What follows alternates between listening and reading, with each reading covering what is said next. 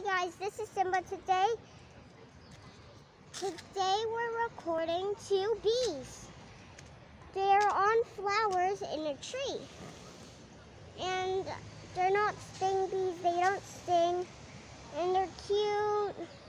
They're yellow, orange, maybe even black too. And they're going higher cute. Okay, bye, gun.